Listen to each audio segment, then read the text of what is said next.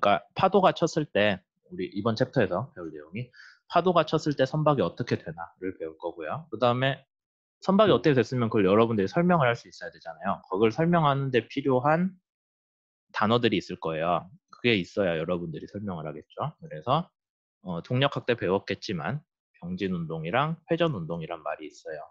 그리고 육자유도라고 우리가 얘기를 하기 때문에 세 방향 x, y, z축 방향으로 운동, 병진 운동, x축, y 방, x, y, z축 방향으로 회전 운동. 그래서 세 가지에서 3 곱하기 2를 하면 6개, 6개 운동이 됩니다. 근데 어, 여기에 대해서 이제 여러분들이 이 단어는 꼭 외워야 되거든요. 왜냐하면 앞으로 자주 쓰이기 때문에 외우기가 좀 별로 그 순서가 없이 있는 단어긴 한데 많이 쓰면 외워지겠죠. 외우셔야 되고 slamming, 갑판침수, sloshing은 파도 중에 배가 놓였을 때 발생하는 현상들인데 slamming은 파도 중에서 배가 올라갔다 내려갈 때 할 때 배가 수면을 쾅 하고 치는 그런 게 slamming이에요. 말 그대로 slam이란 단어가 그런 의미니까 뭔가 꽝 하고 때린다는 의미고 갑판 침수는 파도가 갑판 위로 넘어와서 쭉 파도가 들어오는 건데 그냥 갑판 위로 물이 넘어오는 거 아닌가요? 라고 하는데 물이 우리가 계속 얘기하지만 밀도가 커요. 그래서 얘가 한번 쓸고 들어오면 에너지를 많이 갖고 들어오거든요. 그래서 가판 위에 있는 거를 다 쓸고 다니기 때문에 문제가 됩니다. 가판 침수라는 게. 그 다음에 슬로싱은 배 안에 화물 탱크에 액체로 된 화물이 차 있으면은 운동을 하면 배가 운동을 하면 얘가 안에서 출렁출렁 하잖아요. 그래서 벽을 때리니까 그런 게 배의 구조에 영향을 준다라는 거. 세 가지의 운동이 많이 발생을 하는데 이런 것들을 좀 막거나 아니면 여기에 버틸 수 있게 배를 설계를 해야 되잖아요. 그래서 거기에 다 관련된 연구들이 요새 많이 되고 있고요. 그 다음에 파도가 치고 있을 때는 배가 좀 저항이 커지는 것처럼 파도를 해치고 가야 되니까 그래서 추가로 배가 동력이 필요해지거든요. 그걸 우리가 배의 저항이 커졌다 파도로 인해서 그래서 부가 저항이란 말로 불러요. 우리가 저항 추진 때는 얘기했던 거기에서는 파도를 배가 만드는 것만 얘기했었죠. 잔잔한 물에 배가 앞으로 갈 때 파도를 만드는 걸 얘기를 했는데 여기서는 파도가 있을 때 배가 헤치고 가려면은 추가적인 저항이 더 들어간다라는 거. 그 다음에 parametric roll이라는 현상도 발생을 한다라고 얘기를 했네요. 어, 이거 영상은 찾아보시면은 나올 텐데, 어, 이게 OOCL이 회사 이름이고요. 홍콩 회사인가? 그럴 거예요. 홍콩에 있는 회원 회사고, 거기 배들이 다 도시 이름을 배 이름으로 쓰거든요. 그래서 브리즈번이라고 돼 있는데, 이거 영상 가서 보시면은 배가 멀쩡히 가고 있는데 막 좌우로 왔다 갔다 해요. 기우뚱 기우뚱 해가지고 지금 보시면은 여기 배 밑에 빨간색이 우리가 얘기하는 흘수선 밑에잖아요. 원래 물에 잠겨야 되는데 걔가 들어갔다 나왔다 하죠. 배가 좌우로 흔들리면서 그거 보고 이제 얘기를 하는 건데 어, 이런 현상들이 주로 파도로 인해서 발달을 합니다. 그러면은 어, 여러분들이 좋아하지 않는 유체역학 얘기인데 사실 유체역학은 아니고 여러분들이 좋아, 더 좋아하지 않는 수학 얘기를 좀 하자면은 어, 여러분들 아마 사인파 코사인파는 배웠을 거예요. 배웠겠죠? 그 다음에 어, 파동 배웠어요, 이거? 그러니까 제가 배웠냐고 하는 건 여러분들이 개인적으로 아냐가 아니라 저기 수업 중에서 한 번이라도 다뤘냐고요. 뭐 1학년 때 물리 수업에서 했을 것 같긴 한데 아니면 고등학교 때 물리 2 했으면은 거기서 파동을 저 때는 했거든요. 근데 여러분들이 했는지 안 했는지 확실치 않고 혹시 배웠어요? 파동? 뭐 무슨 파, 웨이브 그런 거? 아 배웠어요? 배운 분도 있고 아마 안 배운 안 배웠다고 하긴 좀 그렇지만 기억이 안 나는 사람들도 있을 것 같으니 다시 얘기를 하자면은 어, 실제 파는 우리가 두 가지 관점에서 이해를 할 수가 있어요. 대표적으로 사인파를 그려놓죠. 그러면 파도가 있을 때 하나는 공간상으로 문제가 되고 하나는 시간상으로 변화가 있어요. 그래서 만약에 여러분들이 실제로 어떤 파동이 있다라고 했을 때, 뭐 예를 들자면 우리가 자주 쓰는 음파라는 거나 사람이 하는 말도 파 형태로 전달이 되잖아요. 아니면 뭐 우리가 보는 빛 같은 것도 전자기파기 때문에 그게 있는데 음, 전자기파는 또 파가 아니라는 말도 있어요. 네, 왜냐하면 매 질을 통해서 전달이 되어야 파거든요.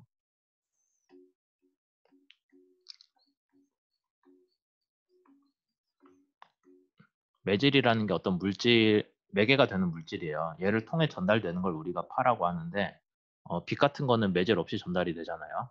그래서 전자기파는 파가 아니란 얘기도 있는데요. 뭐 어쨌든 간에 표현되는 형식은 똑같기 때문에 그냥 파라고 생각을 하고 얘기를 하자면은 어, 우리가 이제 수면파이기 때문에 수면을 통해서 매질이죠. 수면 아니면 물을 통해서 전달이 되는 파를 다룰 거예요. 그 다음에 어, 여러분들이 여태까지 배웠던 것 중에 파를 이제 잘 나타내는 그런 식이 뭐 사인파, 코사인파 그런 게 있었죠. 우선 식부터 쓰고 봅시다. 그러면은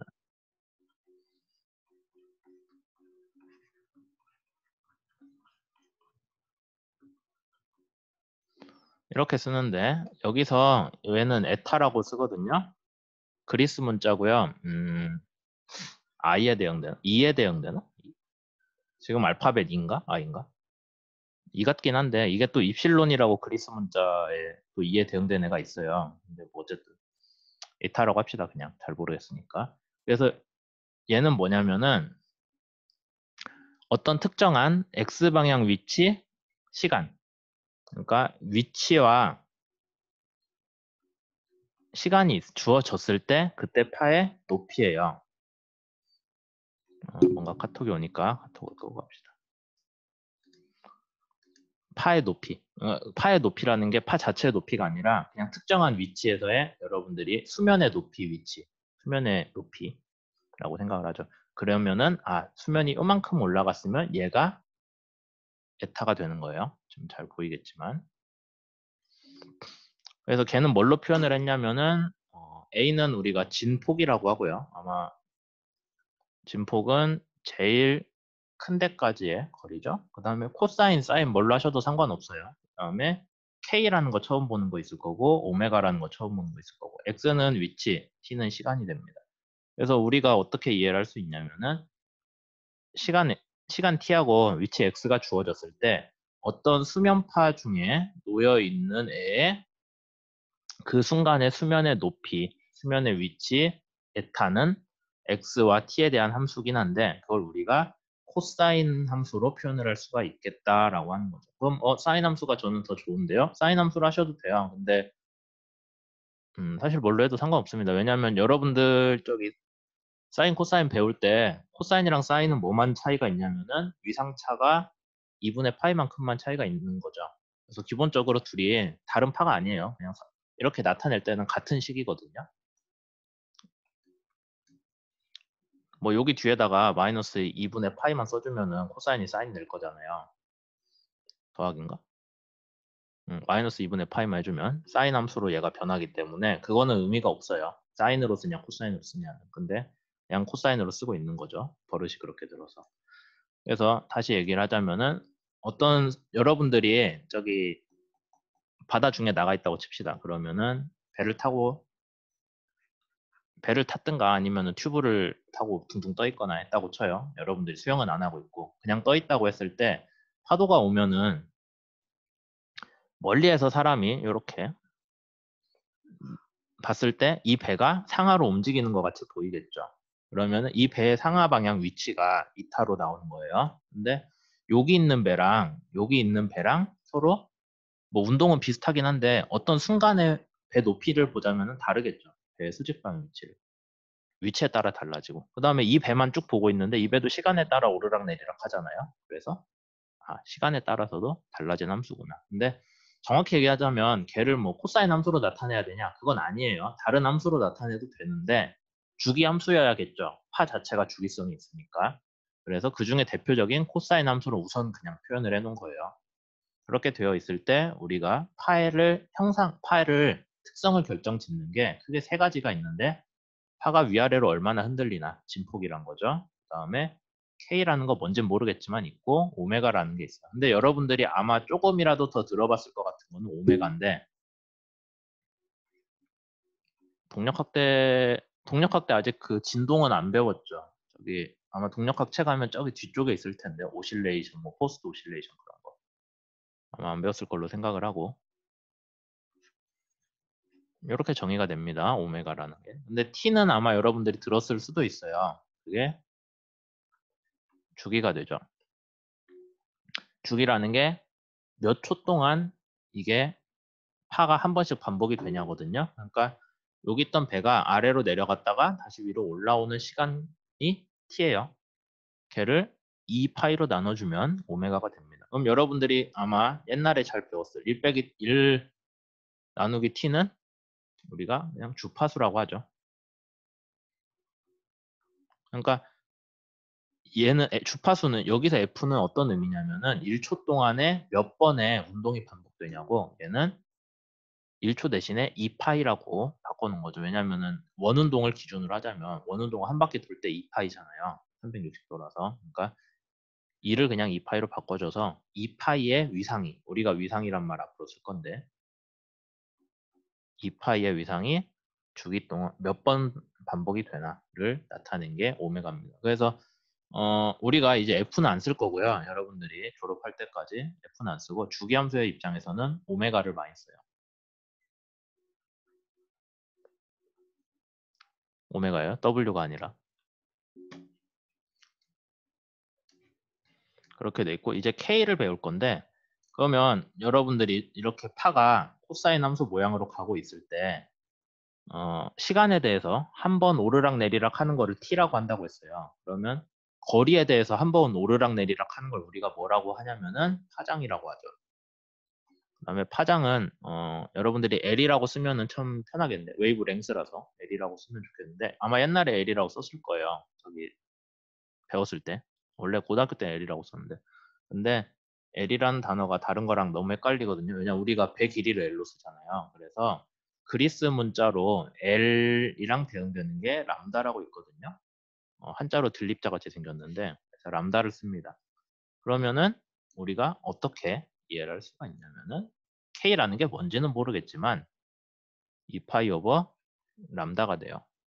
무슨 얘기냐면 아까 오메가는 뭐였어요? 2파이가 2파이 동안 그러니까 2파이라는 게 한 번 운동이 완료됐단 거예요. 한 바퀴 돌았을 때. 운동이 한 번 완료가 됐을 때 1초 동안 몇 번 반복되냐가 우리가 얘기한 오메가였다면은 얘는 길이 차원의 문제가 돼요. 그래서 1m당 단위 길이죠. 단위 길이당 람다가 몇 번이 반복이 되냐가 우리가 K라는 걸로 나타내요. 그러니까 결국에는 얘는 시간 관점에서 봤을 때 운동이 몇 번 반복되냐면은 얘는 길이 관점에서 봤을 때 운동이 몇 번 반복되냐고 얘를 영어로 wave number라고 합니다. 파수라고 써요 한글로. 어 요거는 이제 우리 분야 아니면은 다른 파동 하는 데서 본격적으로 시작하기 전에 나오는 개념이라서 여러분들이 한 번도 안 봤을 것 같아서 좀 시간을 들여서 설명을 했고요. 파수라는 거는 그래서 시간 관점에서 봤을 때 주파수랑 같다라고 보면 돼요. 사실 시간이나 아니면은 거리, 공간 그런 게 어, 뭐 우리가 느끼기엔 다르긴 한데 수학적으로는 별로 다른 게 아니거든요. 그러니까 그냥 시간 차원에서의 진동수, 공간 차원에서의 진동수라고 여러분들이 이해를 그냥 그렇게 알고 계시면 편할 것 같습니다. 그럼 파에 대해서 중요한 거 얘기는 다 한 것 같네요. 파장도 얘기했고 주기 얘기했고 주기에서 주파수 나오고 파장에서 파수라는 게 나온다라고 얘기를 했죠. 그 다음에 한 가지 또 추가로 얘기를 하자면은 그럼 여러분들이 수면파를 가만히 보고 있으면은 파도가 뭔가 앞으로 가는 것처럼 느껴질 거예요. 진짜로 가는지 여부는 뒤에서 설명할 건데 그래서 여러분들이 저기 해안에서 바닷가에서 파가 오는 걸 보고 있으면 얘가 그냥 이렇게 쭉 하고 오는 것처럼 보이죠. 시간에 따라서. 쭉 가다가 언젠가는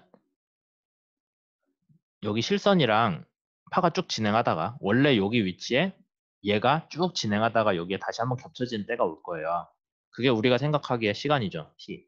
그 다음에 그동안 그러면 t, t 동안에 여기 파 꼭대기가 여기까지 이동을 한 거잖아요.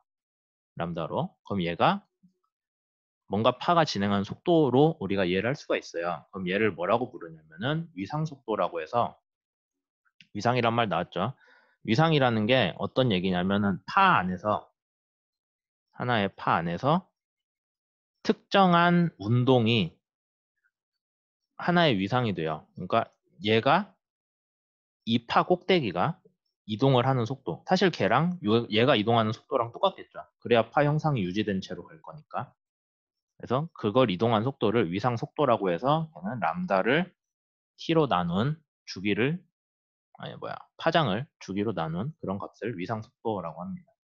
그러면 여러분들이 여기서 잠깐 좀 빠져서 얘기를 하자면은 어 그러면 위상이 이런 사인 함수가 사인 함수가 있을 때 얘하고 얘는 위상이 같은가요? 생각할 수 있죠. 여기도 높이가 같아요.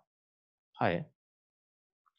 어, 그럼 위상이 같은 거 아닌가요? 라고 할 수 있는데 위상이라는 건 단순히 그 시간의 위치만 얘기하는 게 아니라 걔가 갖는 속도, 가속도 전부 다 포함하는 거예요. 모든 운동 성분이 같아야 돼요. 그럼 모든 운동 성분이 얘랑 얘랑 같아요. 좀만 있으면은 수면파가 이렇게 이동을 할 텐데 그러면은 얘는 순간적으로 운동이 뭐 이쪽으로 간다라고 하면 얘는 이쪽으로 가는 거죠. 위치가 좀 있으면 달라지잖아요. 시간에 따라서. 그러니까 봤을 때 얘랑 얘는 같은 위상이 안 돼요. 근데 얘하고 얘를 비교하면은 같은 위상 으로 볼 수가 있죠. 왜냐하면 운동하는 게 둘이 똑같거든요. 시간에 따라서. 같은 시간일 때 같은 운동을 하고 있어요. 그래서 얘는 위상이 같으니까 한 번의 주기 안에서 위상은 중복되는 게 없다라고 얘기를 하겠죠. 다른 말로 하면은 같은 위상이 한 번 나오면은 거기까지가 운동에서 파장이 되고 주기가 되는 거예요. 그렇게 설명을 하고 넘어갑시다. 왜 이 이야기를 하고 있냐면은 어, 이제 수면파 자체는 실제로는 코사인 함수로 나온 건 아니다라고 여러분들이 어, 유체역학 때 배우긴 할 텐데 근데 그렇다고 해도 코사인 함수가 아니긴 한데 코사인 함수로 어느 정도는 설명이 된다라고 또 얘기를 할 거예요. 그것 때문에 설명을 했고 그럼 실제 바다의 파도는 어떤 식으로 나오냐면은 어, 이거 아마 저항 때도 우리가 얘기했던 것 같은데 여기 주기 기준으로 얘기를 합시다. 그러면은 어, 한 1시간이 우리가 3600초니까 한 2.5겠죠. 1시간 주기짜리 파, 그 다음에 뭐 걔보다 커지는데 로그 스케일이에요. 그래서 뭐 하루 단위도 있을 거고 하루 단위면 한 이 정도 되나요? 이 정도 되겠네. 네, 여기 24시간 있네요. 이 정도가 하루 단위 파가 됩니다. 그래서 수면이 바다에서 수면에서 생길 수 있는 파가 정말 다양한데 크기에 따라서 바람으로 인한 게 있고요. 바람으로 인한 게 있고 그러니까 무엇 때문에 생기냐요. 바람, 바람 때문에 생기는 게 있고 어, 지진 때문에 생기는 게 있고 그 다음에 이건 뭐냐면은 지구가 행성이라서 운동을 하니까 그로 인해 생기는 거예요. 그러니까 하루 단위 아니면 뭐 길면은 한 달 단위 되겠죠. 달이 지구 주위 한 바퀴 도는 게 한 달인가 그러니까 그래서 그런 게 있는데 바람으로 인해 생기는 파긴 한데 거기에 걔가 이제 지배적인 그 분리 현상이 뭐냐면은 여기서는 중력으로 인한 거, 그 다음에 표면 장력으로 인한 거, 그 다음에 동력학 때 배웠겠지만 코리올리포스라고 해서 지구가 회전을 하고 있기 때문에 그로 인한 운동 성분이 있어요. 그런 것들이 서로 다른 스케일에 대해서 발생을 하고 있고 근데 우리는 이제 실제로 다룰 거는 바람으로 인해 생기는 중력파 부분을 주로 다룹니다. 그것보다 작은 거는 배에 영향을 안 주고요. 그것보다 큰 거는 뭐 배에 영향을 준다고 보기는 너무 커서 그냥 걔를 타고 가요. 그래서 그런 문제들이 있기 때문에 주로 얘를 다루는데 그럼 여러분들이 실제 바다를 나가서 파를 보고 있으면은 아까 코사인 함수 얘기했지만 코사인 함수로 깨끗하게 안 나오거든요. 보고 있으면은 큰 파도 있고 그 위에서 작은 파들도 있고 군데군데 있어요. 그 다음에 방향도 큰 거를 보면 큰 거는 일로 가는 것 같은데 어, 작은 걸 보면 또 작은 건 저쪽으로 가는 것 같고 막 그렇거든요. 음, 뭔가 좀 질서는 있는 것 같은데 그렇다고 완전 질서 있진 않아요. 그래서 그게 어떤 식으로 됐나 하고 사람들이 생각을 해봤더니 여기 그림에 나온 것 같이 어떤 파들이 수면파들이 주기도 다르고 그 다음에 아까 진폭도 다르고 결정적으로 방향도 다른 애들이 서로 합쳐져서 가는 것 같다라고 하는 거예요. 그래서 여러 방향의 파들, 그 다음에 여러 주기의 파들이 모여가지고 걔네들을 다 더해놨더니 여기 밑에 그림처럼 불규칙하게 생긴 수면파가 나온다라는 거죠. 그러니까 불규칙하긴 한데 아예 완전 랜덤은 아니고요. 어느 정도 그냥 운동하는 게 랜덤처럼 보이긴 하지만 우리가 해석은 할 수 있다라는 얘기예요. 여러분들이 나중에 유체역학 가면은 배우긴 하는데 그럼 해양파를 우리는 어떻게 해석을 해야 되나요? 라고 하면 아까 얘기한 것 같이 코사인 함수로 비슷하게는 갈 수 있어요. 뭐 정확히는 아니지만 그거를 어떤 식으로 푸냐면은 여러분들이 아마 동력학하고 동력학 그 말은 배웠을 것 같은데 우리 동력학적 상사 뭐 운동학적 상사도 얘기했잖아요. 동력학은 힘에 대한 거예요.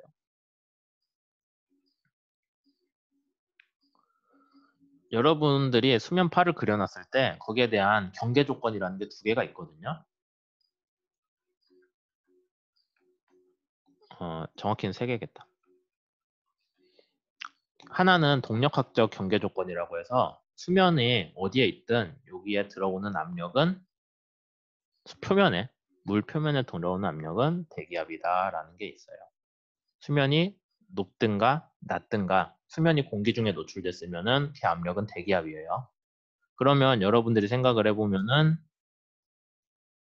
여긴 압력이 높아지겠죠. 물기둥 높이가 있으니까. 그 다음에 얘는 물기둥 높이가 얕잖아요. 얘랑 비교해봤을 때 압력이 그냥 뭐 대기압이랑 비슷하겠죠. 얘는 대기압보다 훨씬 높을 거고 물기둥 높이 때문에 그렇게 되니까 얘가 얘는 이쪽으로 흐를 거고 뭐 이런 식으로 되겠죠. 여기 압력이 높은 데서 압력이 낮은 데로 물이 항상 흐르게 돼 있거든요.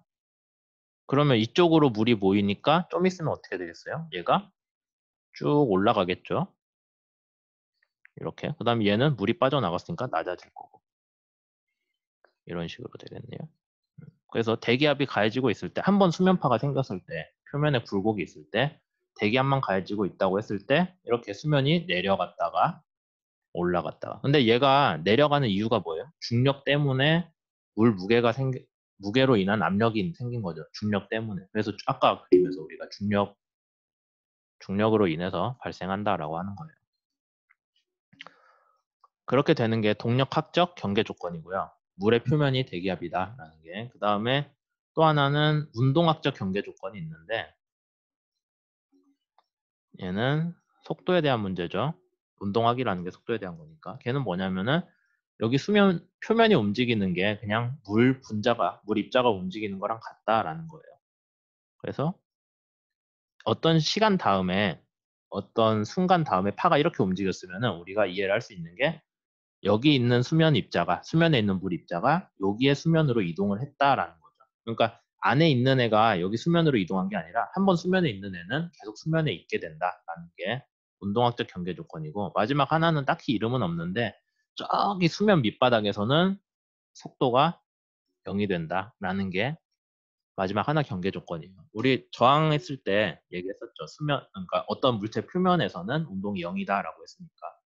그래서 그런 거랑 비슷하게 저기 수면, 수면 아래 밑바닥에서는 속도가 0이다. 여기 위는 뭐야 중력으로 인해서 수면이 올라갔다 내려갔다 하고 그 다음에 그 올라갈 때 내려갈 때 수면에 있는 물 입자는 수면을 그대로 따라간다라는 두 개의 경계 조건 포함을 해서 얘를 실제로 풀면은 뭔가 수학식이 하나 나오거든요. 근데 그게 사인 함수랑 비슷해요. 코사인 함수랑. 걔보다 좀 복잡하긴 한데 그래서 크게 봤을 때는 우리가 뭐 거기에 대해서 별로 차이를 두지 않아도 되는데 이런 식으로 수면파로 인해서 발생하는 이제 수면 아니 중력으로 인해서 발생한 수면파를 우리가 잘 연구를 해봤더니 여기 나온 것 같이 주기와 파장이 1대1로 대응된다는 그런 좋은 걸 알아냈어요. 그게 왜 좋냐면은 거기에 대한 수식이 이렇게 나오거든요. 이거 유도하는 거는 나중에 유체역학 때도 배우고 저항 추진 때도 제가 확실히 가르치긴 했는데 G는 중력 가속도예요. 중력으로 인한 문제니까 T는 주기 그 다음에 얘는 파장 그럼 여기서 변수가 뭐예요? 중력은 우리 변수 아니죠. 파이는 당연히 아니고 주기가 하나 주어지면 파장이 하나밖에 안 나와요. 주기가 마이너스일 수는 없잖아요. 현실적으로. 그래서 주기랑 파장이 1대1로 대응이 되는 뭔가 수식이 나옵니다. 우리가. 그럼 여기서 어 우리가 2파이분의 t는 오메가라고 우리가 얘기를 하지 않았나요? 그럼 그렇게 바꿔주면 돼요. 그래서 실제로는 이게 제일 간단한 식인데 오메가 제곱은 gk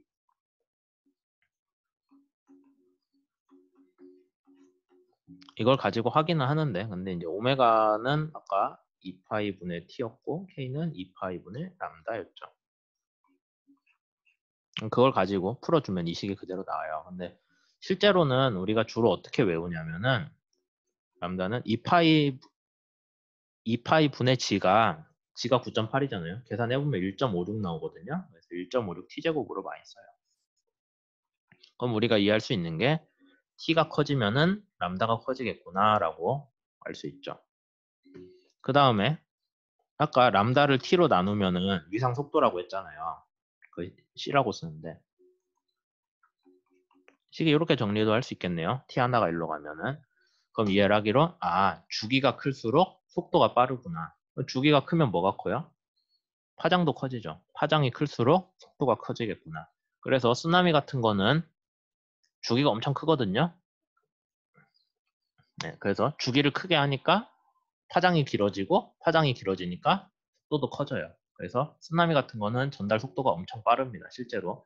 그래서 이제 저기 해저 어디서 멀리 떨어진 데서 지진이 났다. 그러면은 그렇게 되게 큰 에너지를 가지고 쓰나미가 빵하고 생기면은 엄청 빠른 속도로 전달이 돼요.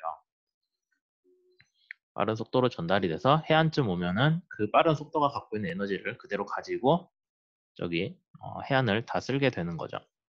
그러면 해양파가 갖고 있는 에너지는 뭐 기준으로 나오냐라고 했을 때 단위 길이당 0.5 로즈 A 제곱으로 얻어져. 이것도 뭐 앞에 이거 수식 가지고 하면 나오는데 그걸 우리 수업에서 다루진 않을 건데 그냥 여러분들이 아시면 좋은 게 아, 요게 파고의 제곱으로 파고의 제, 파고 진폭이죠. 파고는 진폭의 두 배고 진폭의 제곱으로 얻어진다라는 건데 하나 이, 알아두셔야 되는 게 단위 길이당이에요. 그러니까 파가 길면은 파가 길면은 하나의 파 장이 가지고 있는 에너지는 당연히 커지겠죠. 같은 진폭이더라도 보세요. 같은 진폭이더라도 파 장이 길다면은 곱하기 이게 단위 길이당 길이니까 곱하기 파 장을 하면 하나의 파 장이 갖는 에너지는 그 파가 빠를수록 아니면은 주기가 클수록 파장이 길수록 에너지 자체는 커져요. 근데 그거 말고도 고려해야 되는 게 파의 진폭이 있다라는 거죠.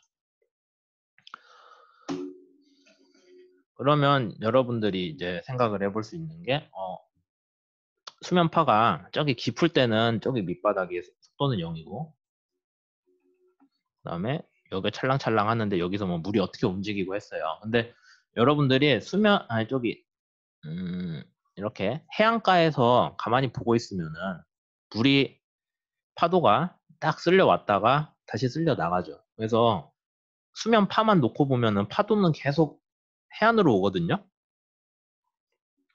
실제로 그래요. 파도는 해안으로 계속 오고 있는데 그렇다고 해서 이쪽 그러면 파도가 쌓였으니까 이쪽이 계속 수면이 높아져야 되는 거 아니냐면 그렇지는 않아요.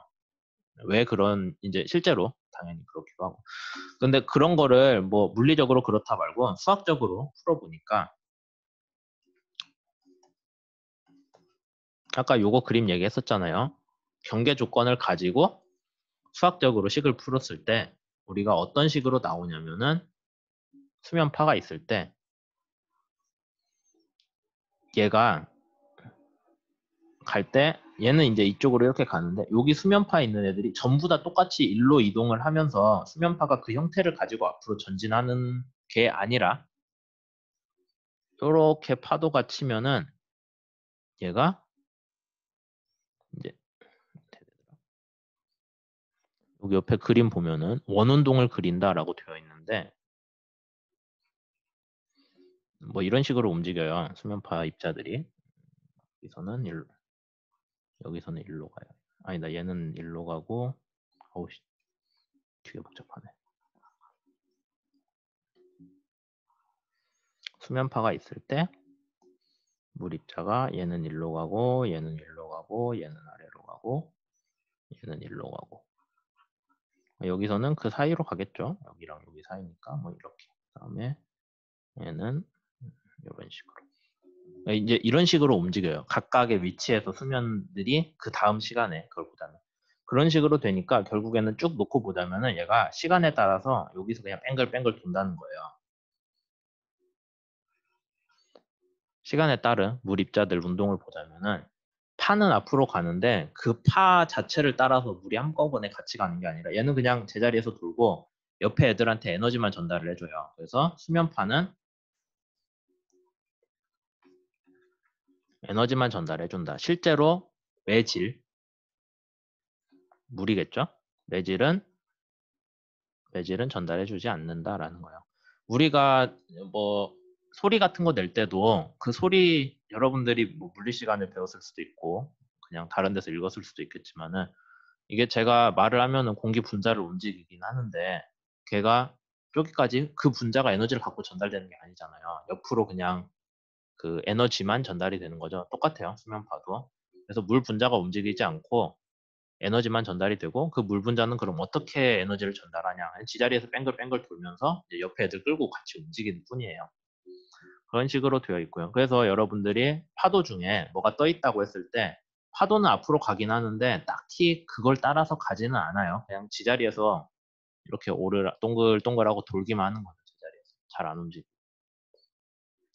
뭐 그런 식의 이제 궤도 운동 우리가 오비탈 모션이라고 하는데 그걸 하고요. 그 다음에 깊은 수심에서는 우리가 경계 조건 얘기했죠. 저 밑에서는 속도가 0이라고. 그러니까 운동이 작아져야 속도가 0이 되겠죠.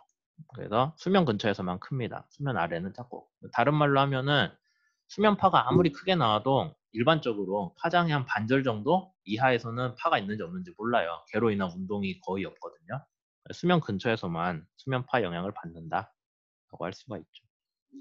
그러면 해안 근처로 올 때는 얘가 어떻게 되냐면은 여기 밑에서 속도가 0이어야 되는데 이쪽으로 오면은 이제 그거를 못 지키게 되거든요. 그러니까 여기서는 수면파가 파 장이든 아니면은 파고 아니면 진폭이든 그게 수심에 비해서 작은 값이라 의미가 없었는데 여기서는 의미가 있잖아요. 수심이 작기 때문에 얘네들 운동이 수 밑에 영향을 주거든요. 그렇게 되면은 우선 파 전달 속도가 느려지고요. 전달 속도는 느려지는데 에너지는 그대로 보존을 해야 되니까 전달 속도가 늦어지면 우리가 파장이 짧아지겠죠. 파장이 짧아지는데 아까 우리가 단위 길이당 파장 아니, 에너지 얘기했잖아요.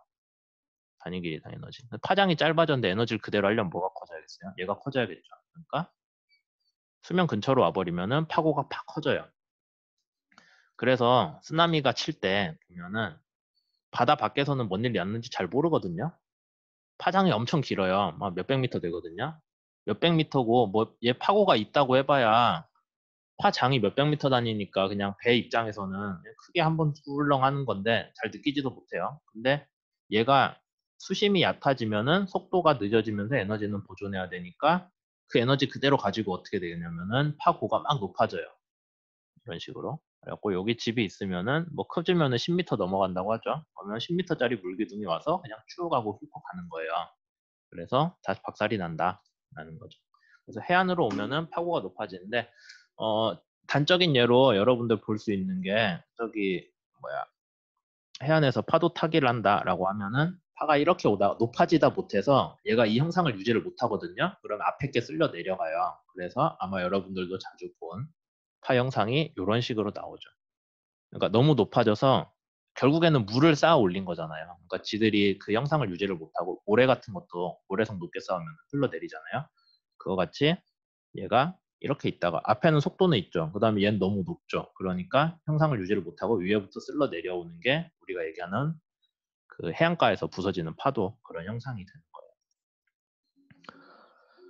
그런 걸 우리가 연구를 하기 위해서 파도를 만들어야겠죠. 인공적으로. 어떤 식으로 만드냐면 크게 두 종류가 있는데 하나는 여기 가운데를 고정을 해놓고 이 판이 앞뒤로 움직이는 거예요. 부채질 하듯이. 그렇게 되면 위는 많이 움직이고 아래는 적게 움직이겠죠. 그래서 실제 바다의 파도 같이 저 밑에는 속도가 0이고 위에는 속, 위에만 속도가 있는 수면 근처만 그런 걸 합니다.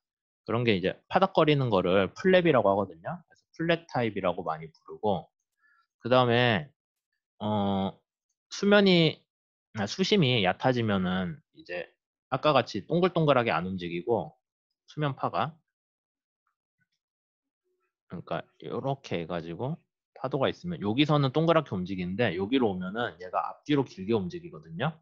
이렇게 이렇게 앞뒤로 길게 움직이고 밑에도 이렇게 좌우로 움직이게 돼요. 운동이 그렇게 되는 거를 모사를 하는 건 피스톤 타입이라고 해서 얘를 통째로 같이 움직입니다. 앞뒤로 같은 크기로 얘는 위만 좀 많이 움직이고 실제로 저기 파도 같은 거 연구하는 연구실에서 이런 거 많이 만들어서 쓰는데 음, 주로 우리 분야는 우리는 조선해양공학, 선박해양공학이기 때문에 수면 근처 파도 별 관심 없거든요. 저기 먼 바다에서를 주로 해요. 배도 먼 바다에서 파도를 맞고 해양 구조물도 먼 바다에서 파도를 맞고 그래서 우리 같은 사람들은 주로 이거 가지고 실험을 하고요. 그 다음에 저기 토목공학과 그런 데 중에서 연안공학 하는 사람들이 있거든요. 방파제 아니면은 뭐 주로 방파제죠.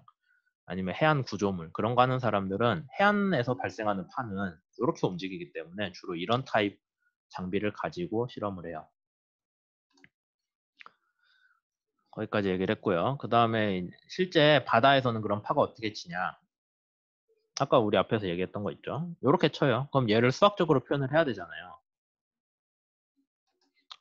그렇게 했을 때 아마 여러분들 책에 보면은 나오겠지만은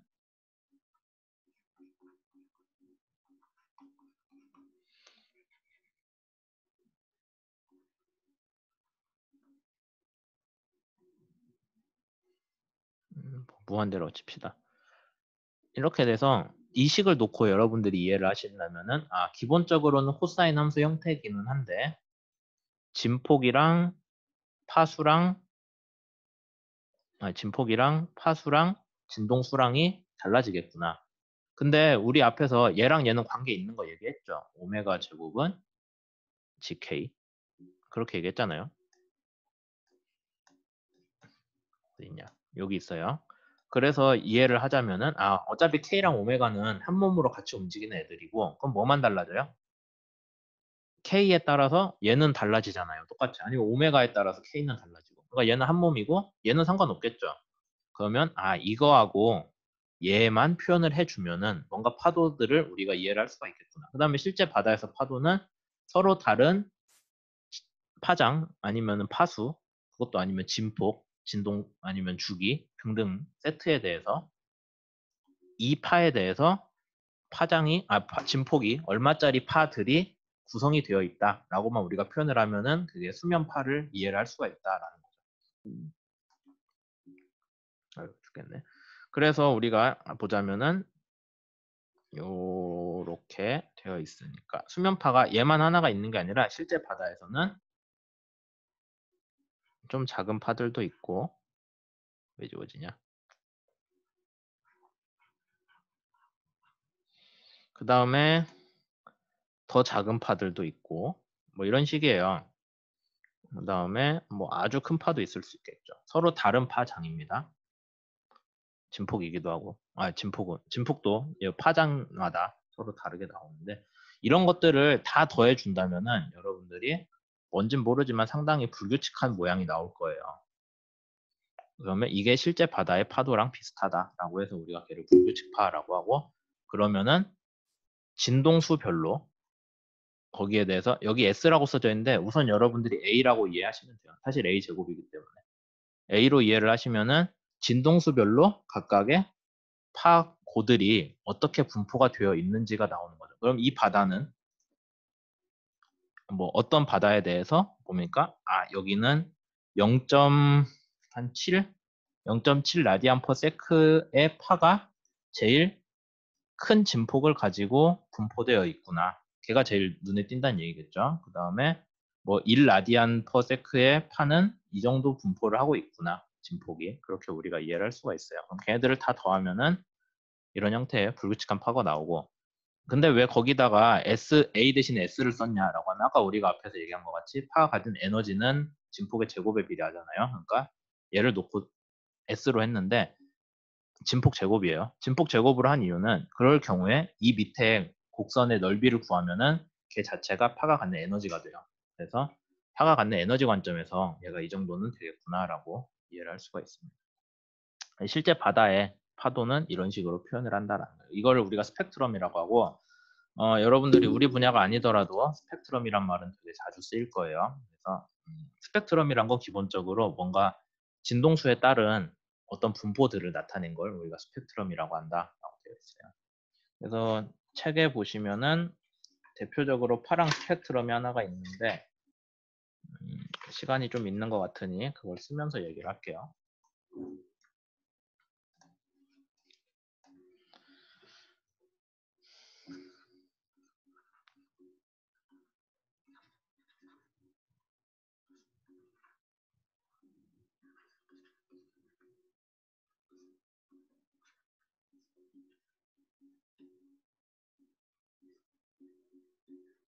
뭐 이런 식인데 어 이거를 여러분 U라는 거는 바람이 부는 속도예요. 왜냐면 우리가 다루는 거는 바람이 불어서 생기는 파도가 중력에 의해서 계속 발생을 할 때를 다루기 때문에 주로 바람에 대한 거를 파라미터가 하나 들어가고 풍속입니다.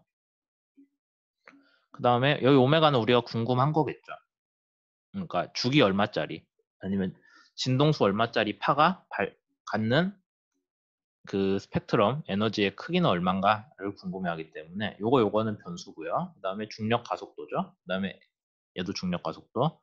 알파랑 베타는 그냥 여러 번 여러분 옛날 사람들이 테스트 해가지고 나온 값이에요. 그래서 걔는 책에 보면 값이 정해져 있어요. 그러니까 결국엔 뭐에 대한 함수냐면은 바람이 얼마만큼 불고 있을 때 오메가의 진동수를 갖는 파는 S만큼의 에너지를 갖는다라고 되어 있죠. 실제로 얘를 여러분들이 전개를 쭉 해보시면은 숫자를 계속 넣어가지고 엑셀로 푸시든 뭐를 하시든 하면은 이런 식으로 나오는 거예요.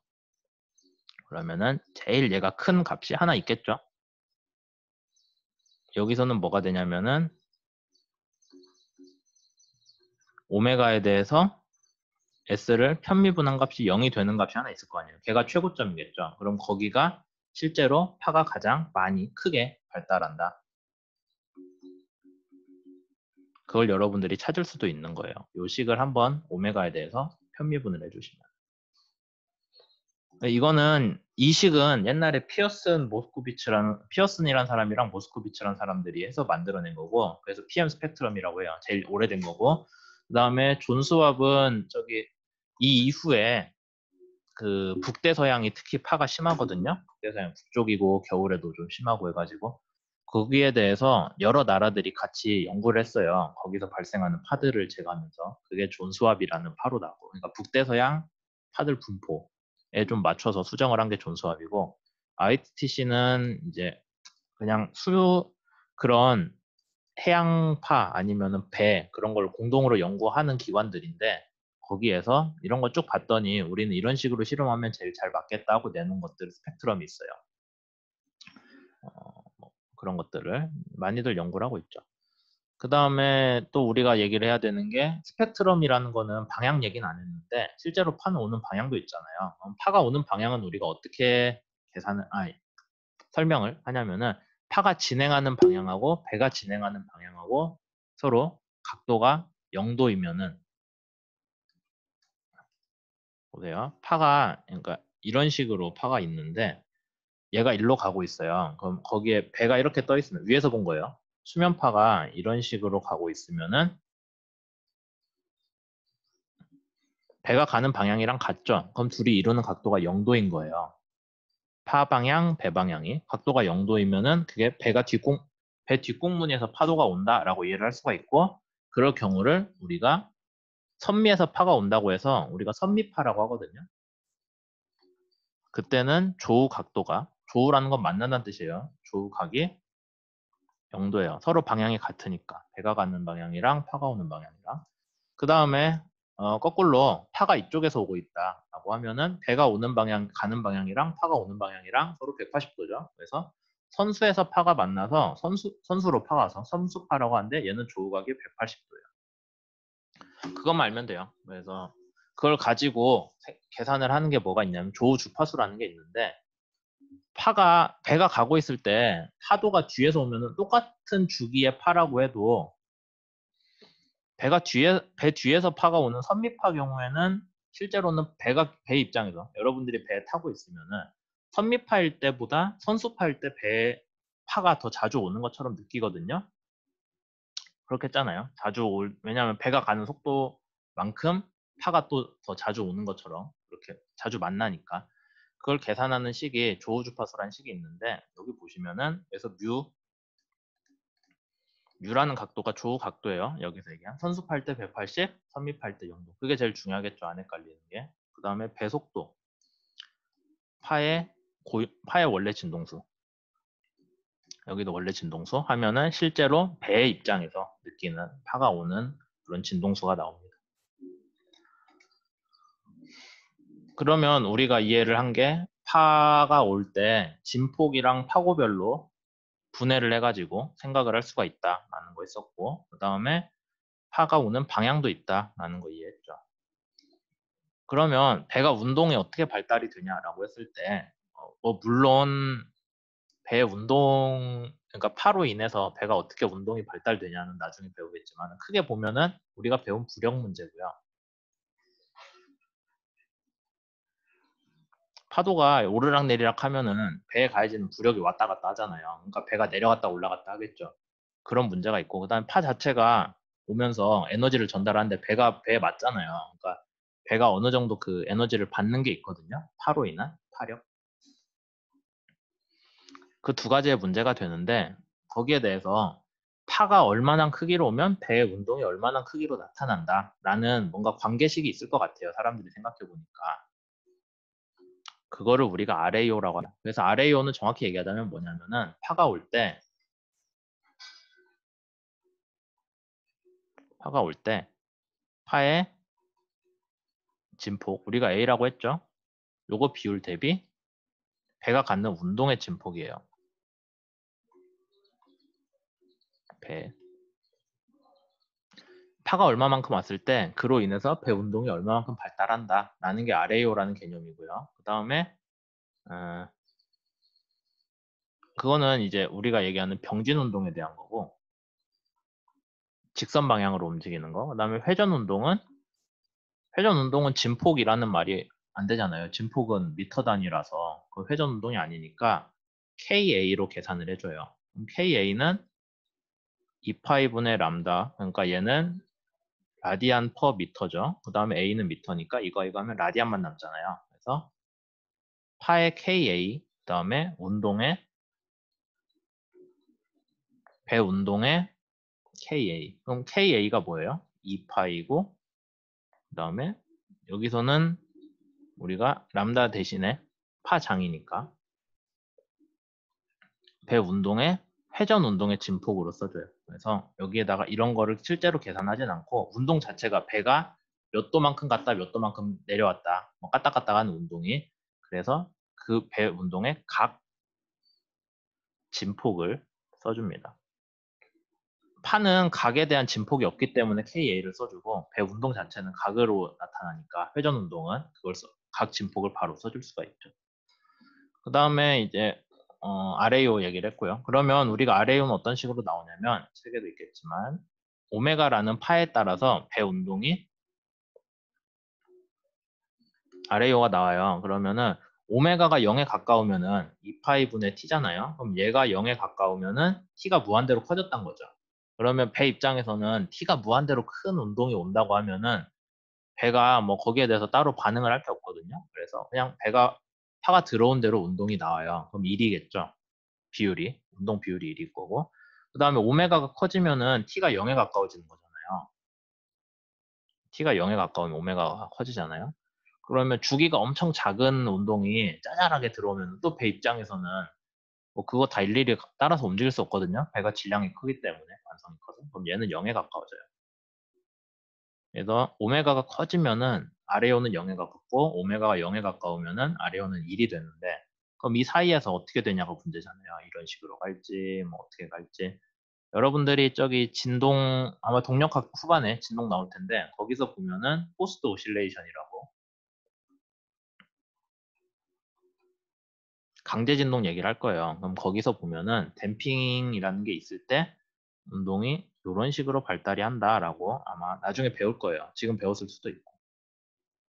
RAO 그래프도 그거랑 똑같이 나오거든요. 그래서 댐핑이라고 해서 운동을 제한하는 성분이 적다면은 여기서 이렇게 막 쭉 커져요. 값이. 운동 값이. 아예 댐핑이 없다고 하면 여기서 값이 발산을 해서 무한히 커지거든요. 그걸 우리가 공진이라고 배웁니다.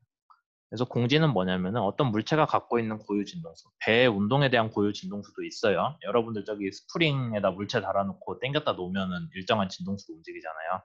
그거 같이 배의 운동에 고유 진동수가 있을 때 선박의 파로 인해서 특정한 진동수에 맞는 파가 온다면은 배 운동이 무한히 커진다라는 게 공진이고 실제 배 RAO도 그래서 기본적으로 진동수가 0에 가까우면은 아레오는 1이고 진동수가 무한되면 아레오는 0에 가까운 건 맞는데 그 사이에서는 뭘로 인해 결정되냐면은 배 고유 진동수랑 댐핑의 크기로 인해서 아레오 그래프 형태가 정해진다라고 이해를 할 수가 있죠. 그래서 거기에 대한 설명이 여기 한글로 써놨습니다. 영어로 바꾸기 너무 이것까지 바꿀 수 있나 싶어서 이렇게 돼 있었고 뭐 대표적인 예로 배의 횡동요 그러니까 배가 좌우로 움직이는 횡동요라는 거에 대해서는 이런 식으로 고유 진동수 주, 고유 주기가 나와요. 배가 고유하게 움직이는 주기가. GM은 우리 배웠잖아요. B는 배 폭일 거고. 그렇게 됐을 때 배 고유 횡동요 주기가 나오기 때문에 걔랑 들어오는 수면파 크기가 같다. 근데 수면파가 옆 앞에서 들어왔다라고 하면은 이제 배가 운동이 이런 식 이거에 공진을 해서 발달을 하는 거죠. 물론 배에서 옆에서 파가 들어오면은 배가 좌우로 더 잘 까딱거릴 수도 있고요. 뭐 그런 특징들이 있습니다. 아, 왜두 페이지가 똑같지? 그렇게 돼 있어서 실제로 배 운동은 파랑 중에 운동은 어떻게 표현을 하냐면은 여기 스펙트럼이죠. 지금 이쪽 그림은 진동수에 따라서 파도의 크기가 어느 정도 되는지 분포가 있어요. 어떤 바다에 대해서. 그럼 그거 곱하기 어떤 파도에 대해서 진동수, 어떤 진동수의 파도에 대해서 배의 운동이 얼마나 크기를 갖냐라는 거에 대한 RAO식이 있어요. 그럼 그 둘을 곱해주면은 파도가 얼마일 때 운동이 얼마만큼 커지니 최종 운동은 얼마만큼 된다라는 게 결과적으로 나오는데 걔는 뭐에 대한 거냐면은 시간에 대한 게 아니라 주파수 영역에 대한 함수로 나타난다라는 게 제일 중요하죠. 그래서 여러분들이 지금까지는 전통적으로 시간에 대한 함수를 배웠어요.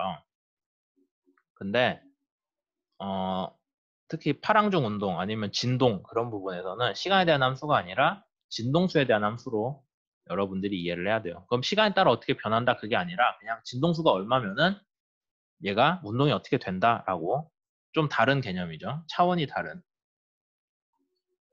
차원이 다른 그런 해석 방법을 해야 되는데 여기서 왔다 갔다 하는 게 여러분들 혹시 들었을 줄 모르는 풀이의 변환이고요.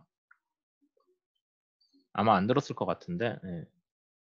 아닌가? 공학수학 때 배울 거예요. 지금 배우고 있을 수도 있고 풀이의 변환이라는 거를 해서 시간 계열을 주파수로 여러분들이 오고 간다라는 거 내용을 하나 좀 얘기를 드렸고 그 다음에 어, 한 5분 남았으니까 3분만 더 하고 끝낼게요. 배가 있을 때 좌표계를 얘기를 하면은 길이 방향이 x, 폭 방향이 y, 그 다음에 위아래 방향이 z예요. 그러면 x 방향으로 병진 운동을 한다. 병진이라는 거는 앞뒤로 움직인다는 거예요. 그 축을 따라서 그러면은 얘는 우리가 어, 한글로는 전후 동요라고 하고요. 영어로는 서지라고 합니다. 얘는 뭐겠어요? 좌우 동요고 스웨이라고 하죠. Z는 상하로 움직이겠죠? 상하 동요. 상하 동요 히브. 어, 여기 대해서 여러분들이 꼭 알아두셔야 되는 게 이거는 배 탄 사람 입장에서의 운동을 지금 얘기하는 거예요. 여러분들이 밖에서 봤을 때가 아니라 배에 타고 있을 때 배의 좌표계에 대해서 무슨 얘기냐면 여러분들이 옆에서 봤을 때 배가 이렇게 떠 있어요. 앞쪽이 이렇게 떠 있고 배가 이 방향으로 움직이잖아요. 좌우 이렇게 흔들리잖아요. 그러면은 얘는 이거 자체는 서지가 아니라 요 방향 서지 더하기 요 방향 히브가 합쳐졌다라고 여러분들이 이해를 하셔야 되는 거죠. 음, 그러니까 배에 타고 있는 배의 좌표계가 고정이 되어 있는 거예요. 물체 고정 좌표계로. 아마 동력학 때 회전하면은 거기에 대해서 배웠던 배웠을 것 같은데 회전 운동할 때도 물체에 고정되어 있는 좌표계 기준으로 설명을 하잖아요. 밖에서 보는 게 아니라. 그래서 물체 고정된 좌표계로 상하동요, 전후동요, 좌우동요가 있다라고 이해를 할 수가 있죠. 어, 물체에 고정되지 않은 좌표계에서 운동을 기술을 하면은 나오는 게 코리올리 힘이잖아요. 그렇게 되어 있고 그 다음에 이거는 병진 운동이고 회전 운동은 X축을 기준으로 회전을 한다고 하면은 그게 배에 여러분들이 타고 있을 때 X축을 회전축으로 해서 좌우로 흔들리면은 그거는 배가 옆으로 기우뚱 기우뚱 하는 거죠. 그거를 이 방향으로 도는 거. 그거를 우리가 횡동요라고 하고 얘는 회전 운동이에요. 롤이라고 합니다. 그 다음에 Y축 기준으로 흔들리는 거 있겠죠. 그럼 배가 뱃머리가 위아래로 까딱까딱하고 움직여요. 그거는 우리가 종동요라고 해서 이게 좀 헷갈릴 수 있는데 횡동요 횡방향 축에 대한 운동이 아니라 배 자체가 횡으로 왔다 갔다 한다는 얘기예요. 그래서 회전을 한다는 얘기죠. 롤이고 얘도 종 방향 축에 대해서 흔들린다는 게 아니라 Y축에 대해 흔들리는데 그냥 그걸 종동요라고 불러요. C라고 하고 Z축 방향으로 흔들리는 거 있겠죠. 그거는 우리가 선수동요라고 해요. 그래서 육자유도 운동이 되는 건데 여섯 개 방향의 운동이 됩니다. 그러면은 여러분들이 여기에 대한 것들은 한글, 영어 둘 다 딱 봤을 때 이렇게 눈에 와서 닿진 않거든요. 잘 기억은 안 날 것 같은데 결국엔 많이 쓰는 단어기 때문에 이거는 좀 외우셔야 돼요. 뭐 어쩔 수 없이 나중에 여러분들 4학년까지 계속 나오는 운동 성분들이기 때문에 그거는 꼭 기억을 해주셔야 됩니다. 다음 시간에는 파랑종 운동은 다 했고요. 다음 시간에는 조종 관련해서 얘기를 할 건데 어, 이번 시간에 했던 거 다시 한번 리뷰 좀 하고 그렇게 넘어갈게요. 여기까지 하겠습니다. 수고하셨고요. 어, 수요일 날에 또 수업으로 다시 찾아보도록 하겠습니다.